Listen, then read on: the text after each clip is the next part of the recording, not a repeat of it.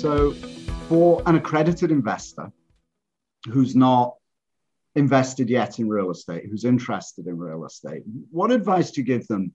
What advice would you give them if they are considering making the plunge into investing through a crowd-funded syndication like the kind that you put together?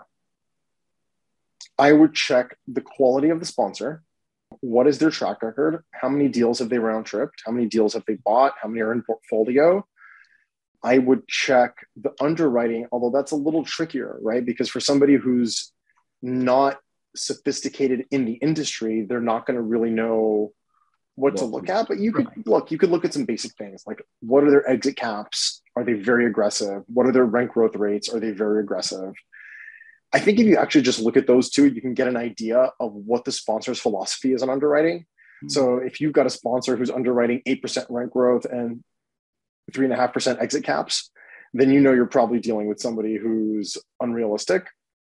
But if somebody's underwriting four and a half to five cap exits, three to five percent rent growth, three to four percent rent growth, and if you look at the rent comps and it looks like they're in line, then you've got a you know that's a responsible sponsor.